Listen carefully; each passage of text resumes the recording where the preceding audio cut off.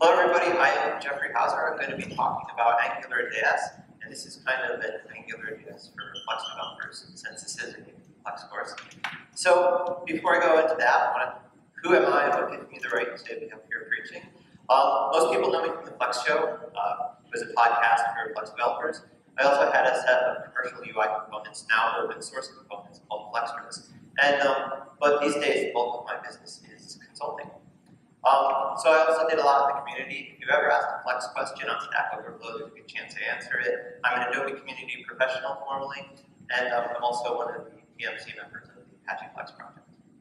Um, I actually just finished, just released a training course, AngularJS for Flex developers. So it's a bunch of books, a bunch of screencasts. The books are actually available for no cost. Um, if you want to get any of the higher tiers with screencasts and a bunch of extra articles, there's a discount code up on the screen. So lifeafterflex.com. And uh, that's it for self-promotion. Let's, let's talk about this specific presentation. So this is what we're going to cover. We're going to talk about a little what AngularJS is and why we care. We're going to talk about modules and controllers and what they are in the context of AngularJS applications.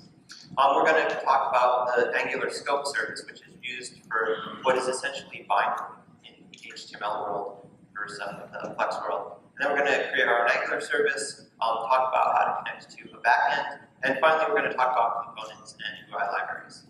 And this this is uh, this really is intended as a beginner's course for AngularJS, but I will be drawing in sort of Flex parallels and experience as we need to. If you have any questions, just sort of raise your hands or scream out. Question already? Go ahead. What do you mean by Why do you need it? Uh, well, if you don't, if you want to build browser-based applications, really AngularJS is an option. And I think it's a great option for um, for Flex developers. And ho hopefully this uh, presentation will give you give you a good overview of that. So what, and that brings me into sort of the first slide here. What is AngularJS? AngularJS is a JavaScript slash HTML5 framework I'm doing air quotes in case you can't see on the video. Um, so it's really, it extends the HTML DOM, the document object model, and adds new attributes, um, Angular attributes. And it's that, and it's also a dependency injection framework. So it's a clear separation of uh, code, business logic, which is written in JavaScript, and the view code, which is really written in HTML. Now, very similar to the separation we see Flex, where ActionScript is, is used for a lot of the business logic, and MXML is really used for a lot of the display code. And another tenet of AngularJS was it's built to be testable, to be easily testable. And uh, we won't go into any details on how to test it, but just just to know that uh, it, in terms of JavaScript frameworks that I looked at, it's very easy to test, and that was one of the priorities when building it. So um, languages used.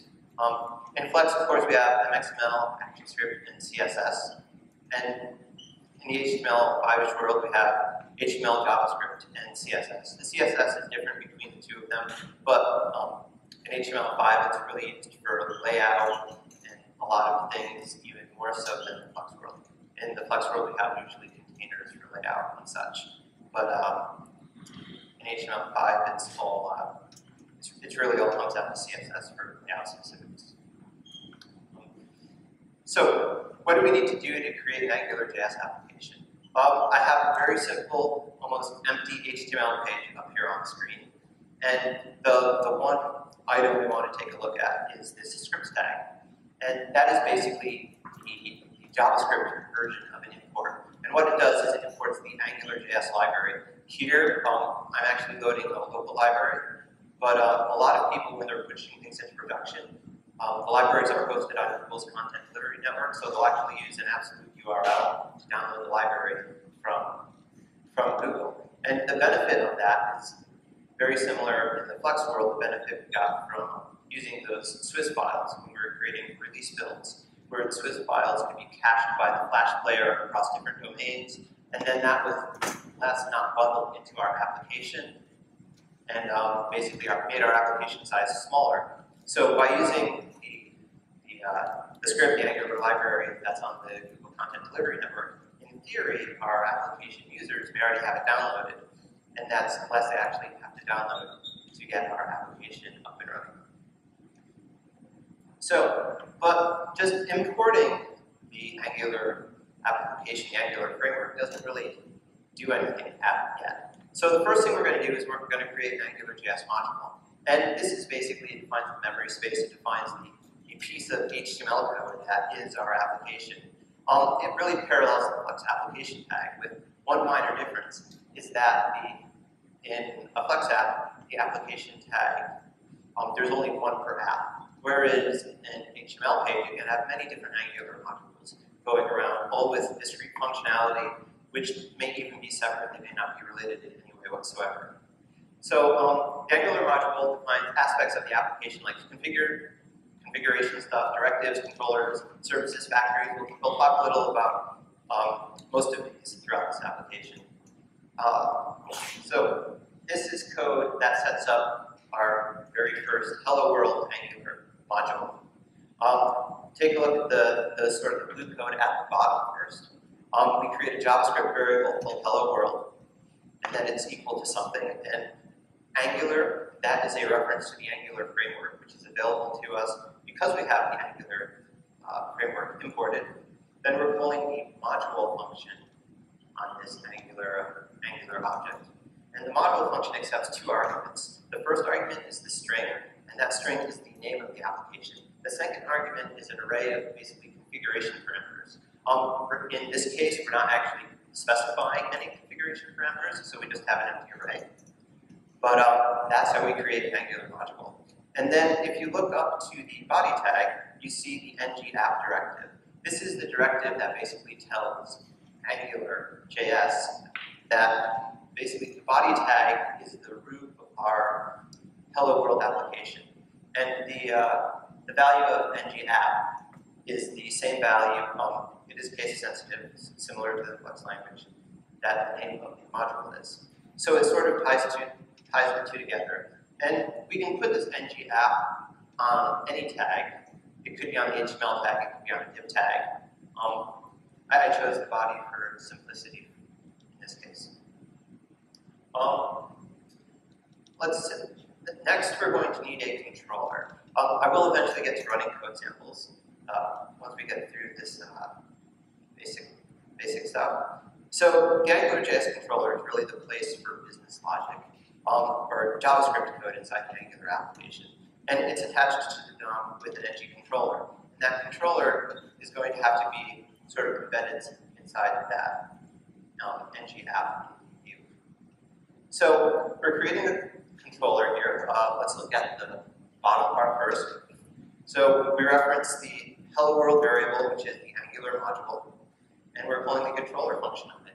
And the controller function is accepting two arguments very similar to the module function that was on the Angular framework that we just looked at. On the first argument is the name of the controller. In this I did HG controller for hello world controller. And then the second argument is really an array of options. The controller is actually a function. So we could just put a function but instead I'm giving it an array, which is really Angular's dependency injection framework. So the last element of the array is, uh, excuse me, the last element of the array is the actual uh, controller function. But before that, we have an array of strings, and it could be some indeterminate amount of strings. And here I only have one. I have something called scope, which we'll look at in a second. And this Angular looks at this string, and then it looks for an Angular, um, an Angular service that is of the same name, and it passes that into the arguments of the function. So in this case, the scope service is being passed into the controller function as the scope variable, or the dollar sign first. That usually is used to distinguish that this is an Angular specific function or service.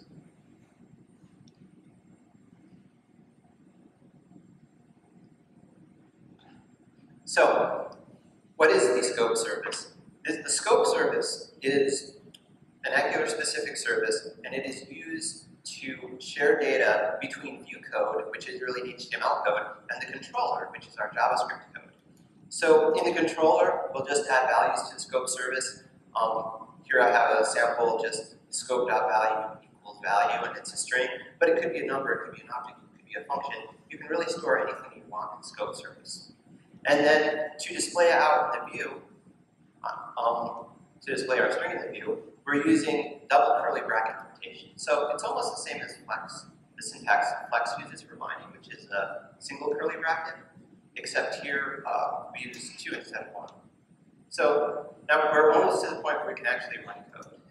So this is, um, actually, I don't know if there's too much to elaborate on I didn't already say. So inside the controller function, we, uh, we create the hello variable and give it a value of a string called hello. And then inside the controller's div, we're outputting it using the double curly bracket notation and the name of the scope variable. Uh, so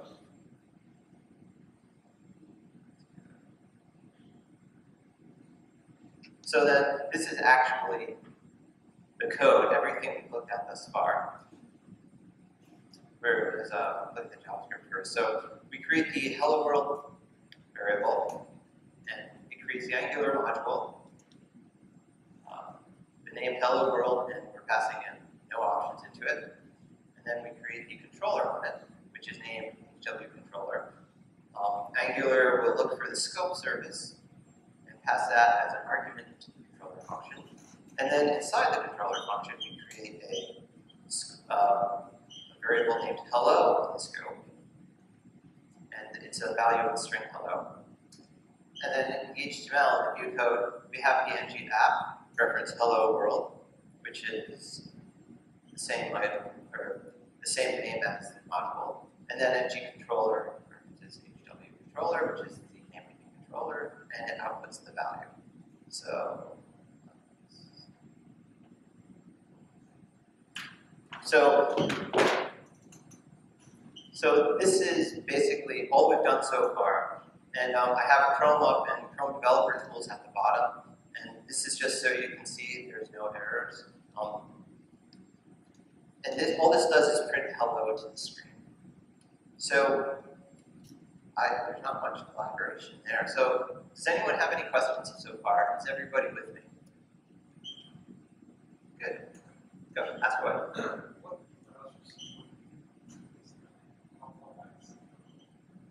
Okay, AngularJS browser support. I'd have to look it up. I think there's issues if you're using IE8 or earlier. Um, so there's just a few things to take into consideration. Um, it does work in IE8. Um, I think you have to add some extra. There, there's actually a document on the Angular website about it, but I don't remember what it is on the top of my head. But um, I, I've, I've tested it in all, all modern browsers, so I've tested it in um, uh, whatever, the latest version of IE, latest version of Chrome, latest version of Firefox, and Safari, and never had any issues with anything working. So, but um, backward compatibility, I'm not really sure.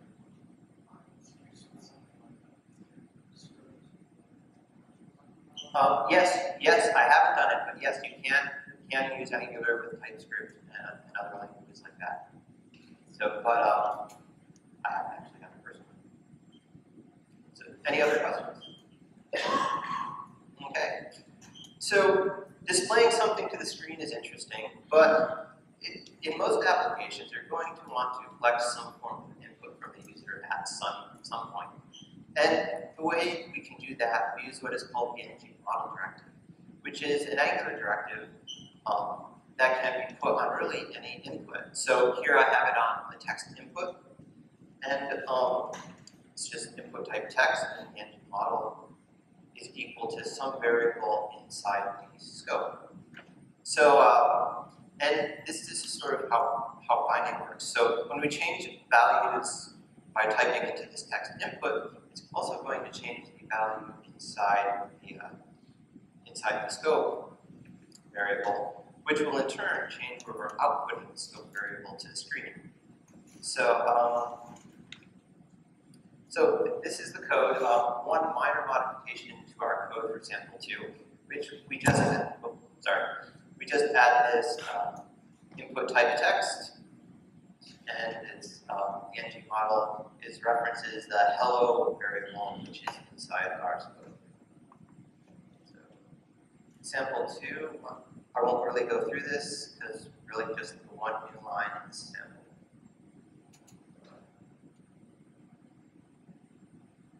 So, but, there we go. Hello world. Hello 360 flex. So, as we type, Angular is working behind the scenes, it's doing its magic.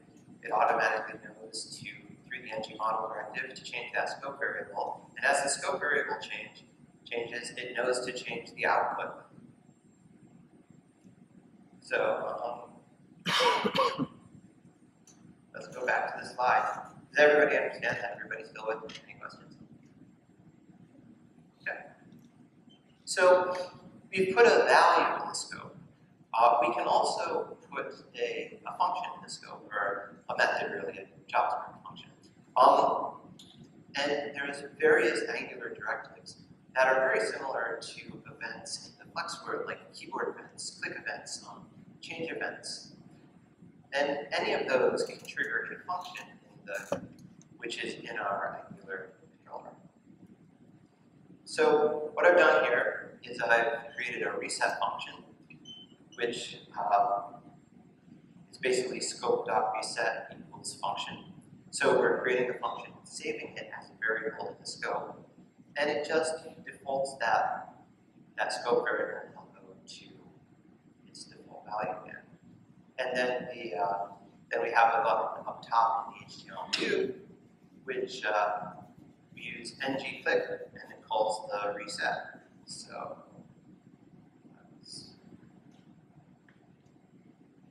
Yeah, so once again, here's the function. And here is the button with the ng click. So let's go to sample three. So hello 360 flex. And if I click reset, everything automatically goes back to hello. So like I said, we have event listeners in essence on keyboard events or mouse click events or double click events or and sometimes directive have, directives have their own custom events too.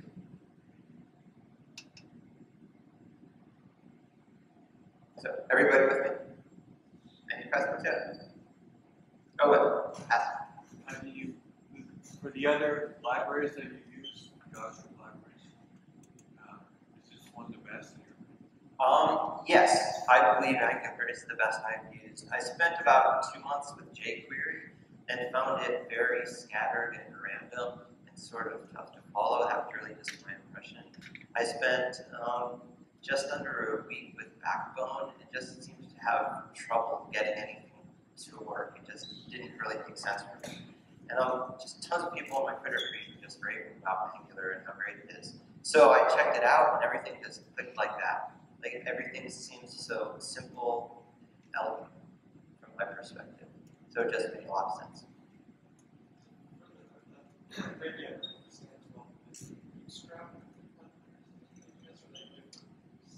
Bootstrap is different. So Bootstrap is really a really a style library. So it's really a CSS CSS library. Whereas Angular and jQuery are really JavaScript frameworks. Um, there's actually a project called UI Bootstrap, which um, makes it really easy to use Bootstrap components in the context of Angular. Um, we'll get to that at the very end. And so, but not really examples, just sort of a high level. Yes. Yes. Yes. Well, well, it, it does do, I, I would say it does do view part too, but it does not come, Angular does not come with a component library. One one of the things you have with Flex is we have this huge UI component library with so many options. And also, even you know, go beyond, there's open source or commercial components out there for Flex. With Angular, the, specifically HTML5, we have a very tight, very light library. There's really just HTML, which is a button, a select box, a text input, text area, um, but it, it, doesn't get very uh, comprehensive in terms of what's available to us. And Angular does not provide us that UI library, but there are options out there, um, which, which I'm I'm sort of jumping around, so it's, it's okay. Um, and, uh, yeah, there- are options out there. Bootstrap is one, and there's a UI Bootstrap project, which makes Bootstrap really easy to use in the context of Angular. There are others. There's um, I've done a bunch with something called the ng-grid, which is an HTML5 data grid built to use with Angular, which actually has just about everything you want on Flex data grid. It has things like cell templates, which are renderers. It has um, column sorting and such. Um, it makes use of renderer recycling, which is so only what's on the screen is rendered, not so if you have 100 items in data grid and only five are on screen, it's only rendering five rows, not 100 rows. Um, so it's really, really awesome. It's really flexible grid. Um, and we'll probably have time to probably show this now at the end. But um, I'm digressing a bit. How about Node.js?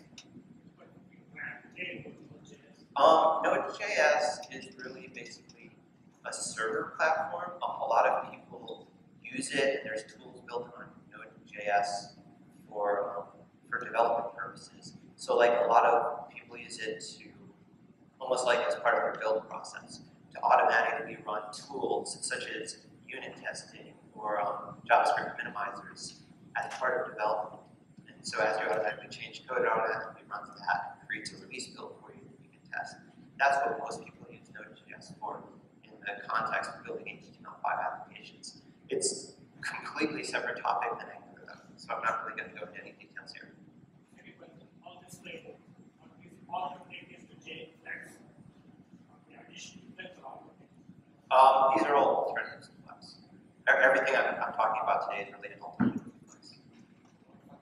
So, That's- but to kind of continue what you just said, do you want to mix your flex out with like the WebKit, like on the air side? Would that be a way to sort of bridge some of that? Um, possibly. Yeah, I, I plead the fifth. Yeah, re- really, the HTML side of Air is really only on the desktop. And from what I've seen, most people are using Air for mobile applications. There's not much interest so, from people I talk to about building desktop applications.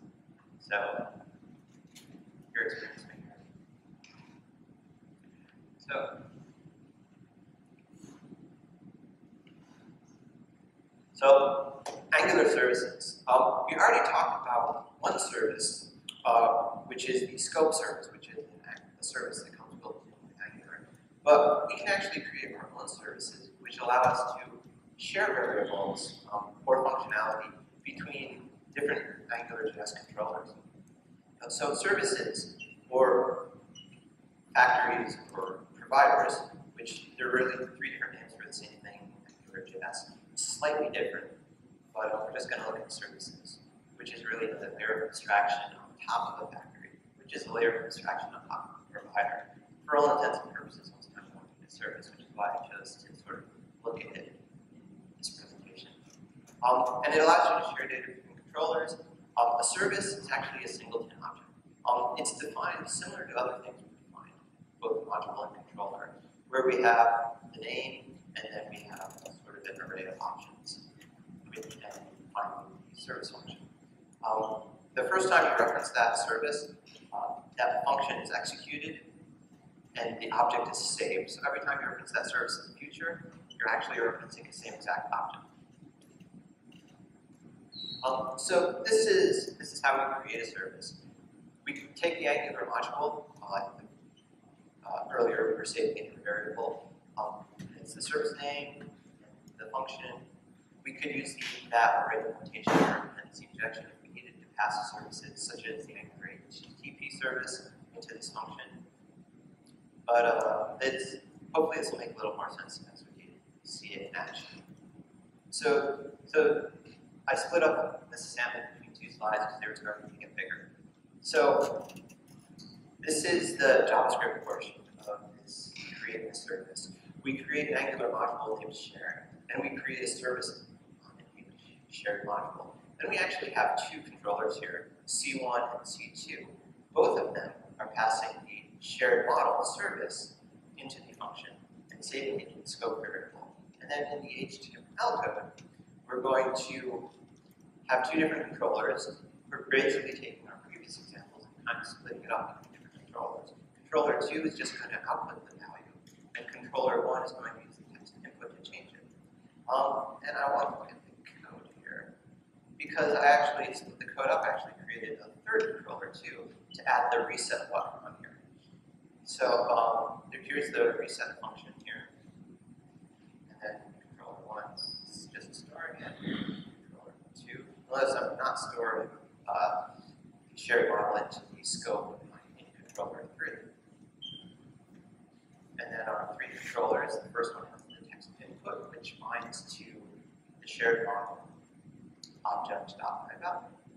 And the second one outputs it, and then the third one just clicks the reset.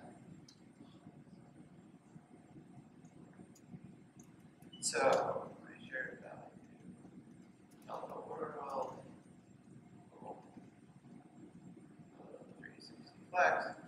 So, we, we type in the first controller, and it changes the service, which automatically knows to update display value in the second. And when we click the reset button, it changes the same service object, which clears out the values in both controller one and controller two. Is everybody with me there? Any questions? Do you share data between modules? Um, I'm not actually sure. Usually, well, yes, you can. Usually, you don't do that with a service. A service is usually confined into a single module. Usually, when you're doing that, um, you're, you're creating a module, you're passing it into another module as a parameter in that sort of configuration array, and then, um, and then when you're using that module, it's one module inside the other module, you're usually, there's usually some defined API. Su- Such, like, um, sort of like ng-click or, or ng model, except something you created yourself as part of the directive API. Hopefully that makes sense. Directives and, and doing stuff like that can get very complex, so I actually left it, it would almost be a presentation on its own. So, so I left it out this completely other than passing mention at the end, or in the middle right now. Uh, so let's talk about HTTP services, because most of the time when you're building an application, you, you're gonna need to integrate with the service packet, at least when you're building something enterprising. Um, so Angular provides a service called the HTTP service, and it's really a wrapper around the browser's XML HTTP request object. And this is the object that sort of made JSON, or not JSON, made HTML possible, or um, Ajax. That's, the new term. And uh, and this HTTP object has a lot of helper methods to make it really easy to use this XML HTTP request to get data to make it calls to the server and get data back, and this supports get, post, and JSONP, and um, any sort of HTTP request you want to make. Um, put, I think, and delete. Not sure about delete. Anyway, so I've created a service. I'm traditionally a ColdFusion developer, so I went to ColdFusion to create a service, and I created a really simple service. So the endpoint is test service. It has two inputs, um, num1, num2. And there's a method which is um, named sum. This is sort of a ColdFusion thing, which says at this endpoint execute this method because you can have multiple methods at the same endpoint. And then the output is the sum of the two inputs, which is num one two. So um, I wasn't going to show the actual ColdFusion code unless you guys really want to see it. But um, if you do, we get to that in a second. So let's focus on the Angular piece here. So we're taking, we're creating a new HTTP test module, and we're creating a new controller on that, an HTTP controller. The, uh, we have two values passed into our controller, um, scope, which we've seen before, and HTTP, which is in essence one. And uh, I create a bunch of variables. Actually, let me just show this in code where it won't be so squeezed as it is on the slide. So, HTTP test, um, the uh, application or module rather, then we create the controller, passing in the scope variable, and HTTP service. We're creating three values in the scope here. Um, number one, number two, and result. Number one and number two are going to be the arguments into the service, and result will be the results returned from the service. So we do we have a calculate function, which will be triggered by a button UI, and it'll create a, a parameter string. So um, I assume what all have done with HTML development know what a, a parameter string is, and URL parameters and URL. So it's num1 equals the scope variable, num2 equals the other scope variable, and uh, method equals the sum. Then we do this HTTP GET, which is where making a GET request to the server. So we call our, our service URL with the parameter string at the end. And then we have this sort of dot notation here, dot success, and on some success. So, and on some success the method that's called. So basically, it's when we get a successful result from the server, we call this on some success method. When there's an error from the server, we call this on error method. So let's look at the error method first. Um, in this case, all I'm doing is um, logging the failure. And this is something that will show up in the console, uh, the web developer console. We also the user we want to, want to do something UI based. Um, four, four arguments into this uh, function, um, both the error and on success functions. Uh, data, which is the data returned from the server. Uh, status, which is sort of the status code returned from the server in relation to this call. Um, and then the headers and the config. Uh, we're not specifying the config to make the call, but if we were, we can add those values back. And beyond some success has the same arguments into the function, and uh, I'm doing some logging there for debugging purposes. What really we care about is we're saving this data uh, that's returned from the server into the results function, or results value in the scope. Let's look at the HTML view here. So um, we have an input box for number one, input box for number a button to call the calculator and finally we display the results. So let's look at this running. Did everybody follow me in this part of the notes now? Ask me. Question, um, the, notice you said put it bottom some JavaScript, is that gonna change? Put it at the bottom, or is the, Um, I, I'm not understanding the question, I think. what does it matter, like where, where script is? The script at the bottom. Oh. So used to the script. Okay, yes, it's considered a best practice to put the script at the bottom, because if you put it at the top, it has to load all those script tags and JavaScript stuff before, um, the page is basically rendered.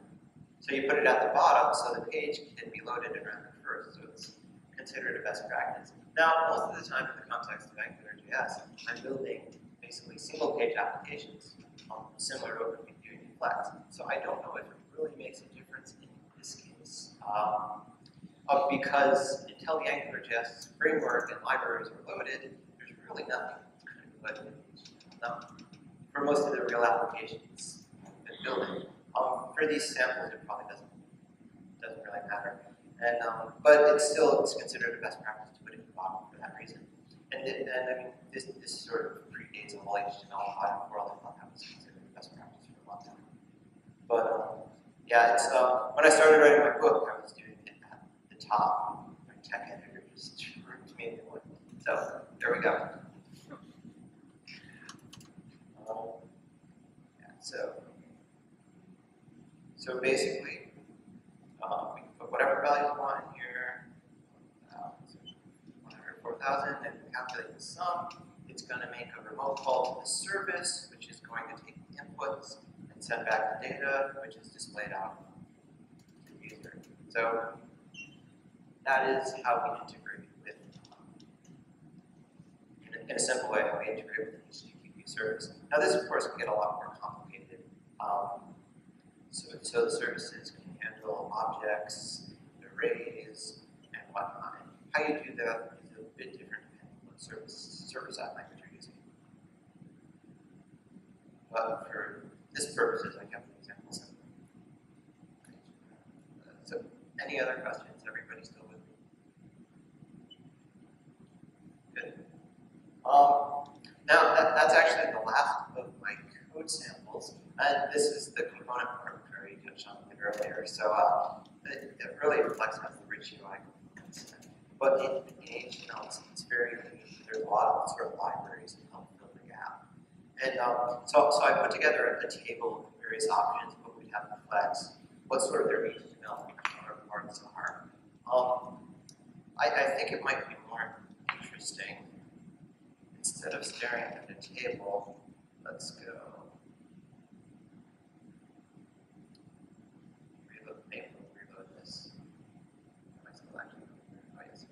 So this is the actually application I, I built in QuickBooks. So it- it's really two parts. I built a, an application in Flex, then I rebuild the same application in AngularJS, and that really gives us a direct side-by-side comparison of what we want to build. So this is a task manager application, and I wanted to touch on a lot of the things we build for enterprise clients. So there's a login different roles, two roles, a tasker role and a creator role. The tasker role can do everything. They can create new tasks, edit tasks, schedule tasks, mark tasks completed. Where the creator role can't create tasks, but can edit tasks. So, um, log close this down here. So this is this is the application, and it's really squeezed at this resolution. But so the top part is a filtering bar. Um, so whatever, filter based on task categories or specific dates, like created dates. Uh, there's a date picker here, which uses UI Bootstrap. Um, so,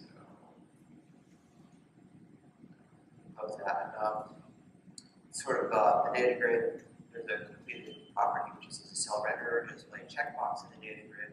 And then, and then it's code, just by clicking this, we can mark a task completed. And go back to completed.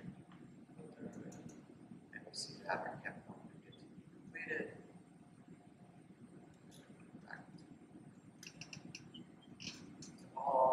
Um, we can use a pop-up here to create new tasks. Once again, this is a piece of the UI Bootstrap library. So task created live, uh, 360 flex.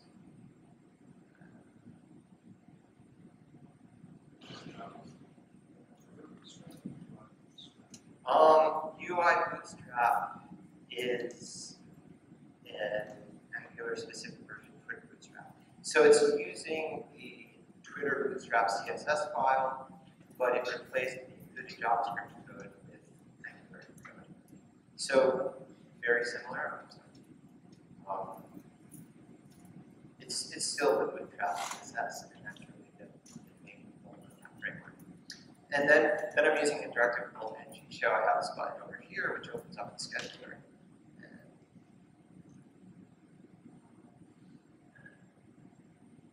and excuse me. Um, So there is actually a button here, which which is currently getting truncated to items to the scheduler.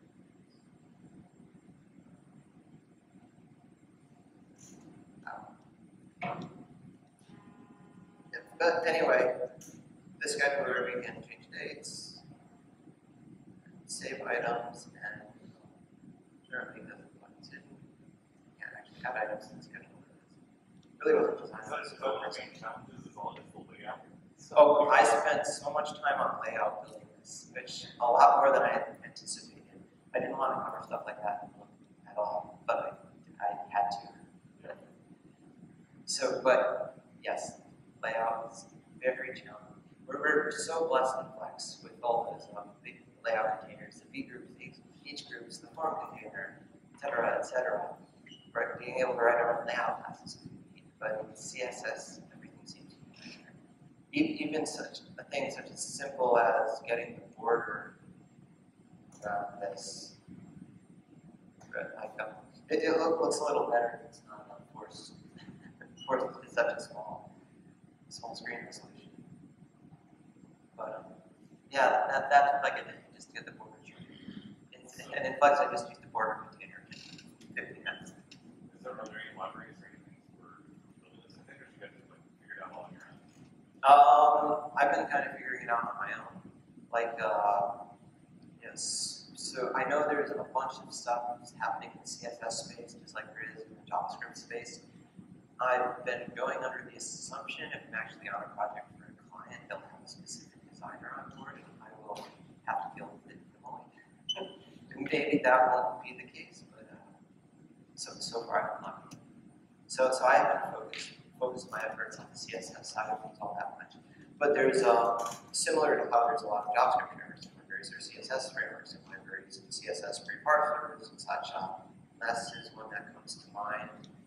Um, where you do like conditional stuff with CSS, perhaps through coding, and through filter, filter compiler of some kind, which outputs stuff the browser actually recognizes, conceptually similar to TypeScript stuff. Uh, um, that I was talking about yesterday. Did you look any other stuff like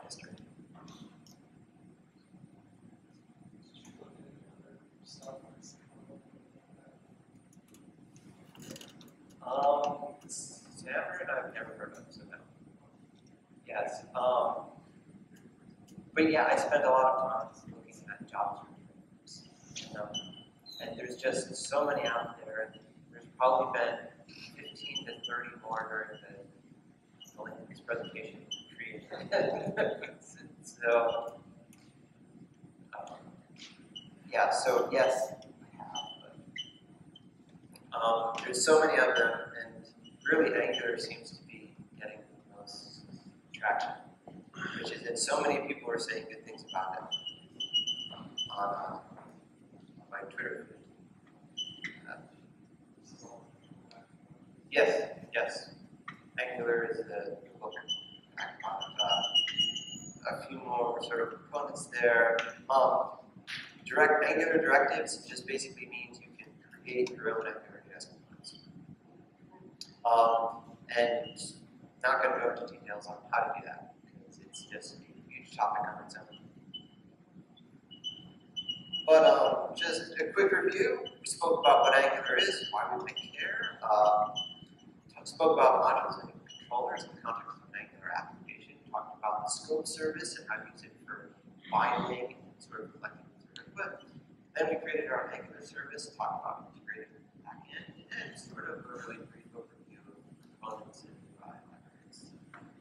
Um, once again, go get book, my training course, lifeafterflex.com. The books are available for free. And, and any questions?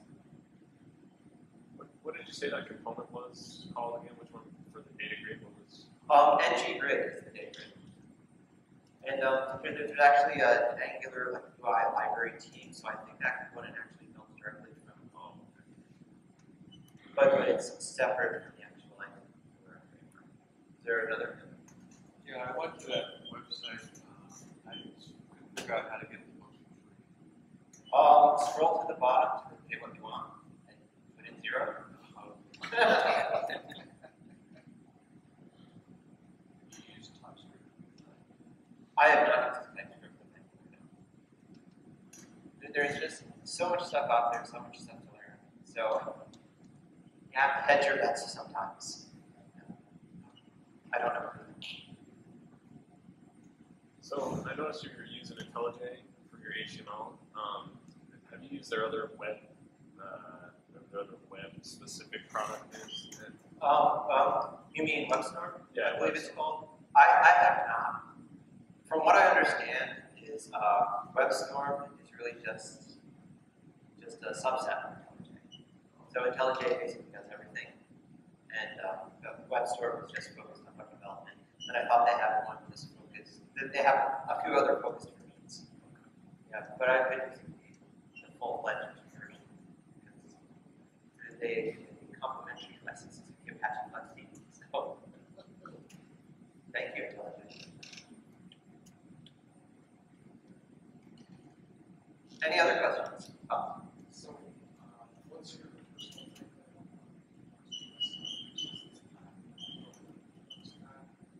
Um, I think Alex is doing awesome work. Um, I haven't dealt with him, he's been pushing me to create an Angular JS example with Flex.js, which was on my list to do, but it wasn't gonna happen before this conference, I wish I could show it off now. Um, So, so hopefully I can do that next month.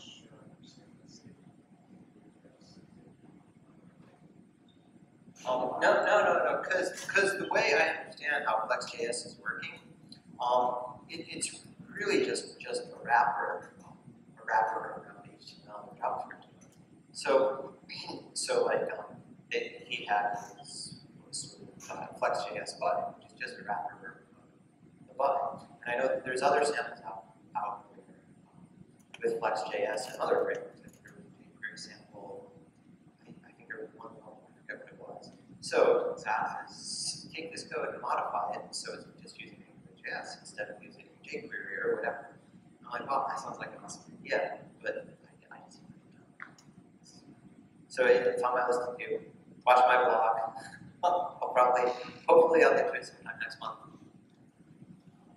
Yeah. So, but um, the fear, the fear I have, is that by the time that's really production ready, it'll be too there, there's clients, like AngularJS is huge right now, and I don't know how long it's going to be huge, but That's the problem with all this other JavaScript. You know, two years ago, everybody was talking about jQuery. Yep. That was, I can't remember EXTJS. Oh, yep. It's like the list just goes on. and on. At least this one, we know which ships, you know, you know what I mean? like, Yeah. watch just one. So- Right. Uh, I don't think I have any response. I don't want to say about it. But yes, I understand. Yeah, see, the thing with JavaScript is, it's JavaScript is all open source in some manner, regardless of the license. So if you really need to, you can it yourself. So what about more functional stuff? Like, if the, if the data finding, uh, the HTTP service was having a problem, Flex will go and launch the, or, uh, what you do with the, uh, browser, I think, or just limited to what, what back. Um, well, let, let's, let's talk a little about that. John, John's not kicking off yet. So, um, let's go, there's this network tag in Chrome, and I'll, I'll mark this completed. So, there's the service request. And we can see the request headers, the form data, that was part of the task, which is the method, task ID, and the completed value. We can see the response, which is a JSON object. I didn't really touch on JSON in this presentation, but doing stuff in HTML, five-ish world, kind of want this JSON, move away from the AML. So it's, I can see what it's returning. Um, now I can also use, uh, there, there we go. And I also use this tool called Service Capture, which um, it'll give me the form parameters. And I use Service Capture a lot for Flex too, actually. Is this the front end Um, Service Capture is an independent tool. Um, it could be Windows only, I'm not really sure. Oh, it's a TCP stack. Yeah, basically, yeah. Yeah, so like um, Charles is another alternative. Um, yeah, yeah, there's a, there's a bunch out there. This is nice because it sort of gives me the objects. I can drill into what's returned. It's a little easier than uh, what's here. So, so that's if you, if you're trying to plug IT service capture. Yeah, wrong? Yep. Yeah, yes. And Firefox has integrated tools too, and IE, I actually haven't looked at the IE tools. I know they have developer tools now. I don't know to what extent.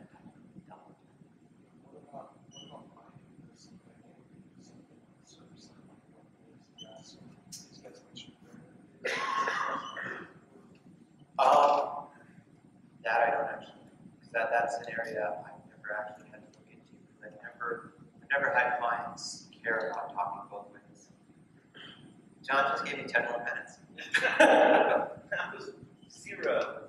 Zero. and there you go.